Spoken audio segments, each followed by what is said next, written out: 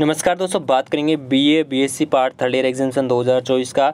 Mathematics का second paper की हम बात करने वाले कॉम्प्लेक्स एनालिसिस का पेपर है।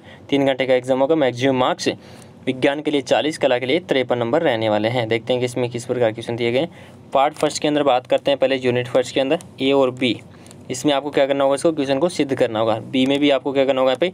फलन दे रखा है, फलन को सिद्ध करना होगा। संतंत्र फलन नहीं है। उसके बाद में दो नंबर क्वेश्चन आता है, इसमें भी सिद्ध करना होगा। ए और बी, दोनों क्वेश्चन को आप देख सकते हैं, नोट कर सकते हैं। बात कर लेते हैं यूनिट सेकंड की, जिसके अंदर तीन का जो ए पार्ट है, इसमें मान ज्ञात करना होगा इसमें भी मान ज्ञात करना होगा, ए और बी के अंदर, दोनों के अंदर। चार नंबर क्वेश्चन आता है, इसमें भी ए और बी दे रखा है।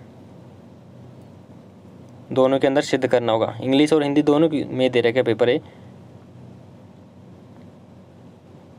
नेक्स्ट आता है यूनिट थर्ड ए और बी पाँच नंबर क्वेश्चन का ए और बी पार्ट है।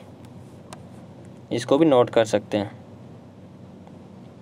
छः नंबर क्वेश्चन में भी आपको अभिसरण त्रिज्या और अभिसरण वर्त ज्ञात करना होगा। ए पार्ट के अंदर और बी पार्ट के अंदर भी यहाँ पे सिद्ध करना होगा।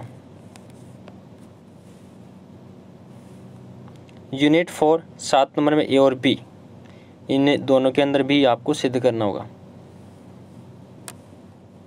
आठ नंबर क्वेश्चन आता है, ए और बी। आठ नंबर का जो ये आठ नंबर है, इसका ए और बी, इसको भी हल करना होगा।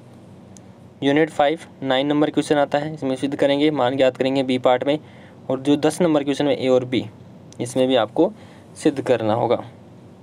पेपर कंप्लीट हो चुका है दोस्तों तो प्लीज़ वीडियो को लाइक करें, चैनल को ज़रूर सब्सक्राइब करें। सभी यूनिवर्सिटीज़ के लिए पेपर काम आएगा। धन्यवाद।